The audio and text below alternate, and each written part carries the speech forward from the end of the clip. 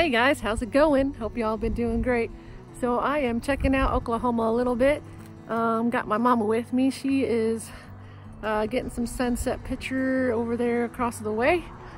And um, right now we're checking out Broken Bow. Uh, I went and got some drone footage over there at Pine Creek Lake.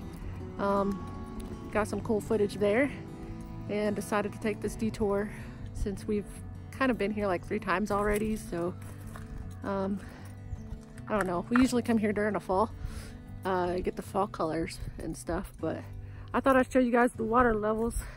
It's pretty crazy how low it is right now. Look how low the water is, y'all. I don't know if you guys, or who has been here, and you know what it normally looks like, but maybe they just have it low for now.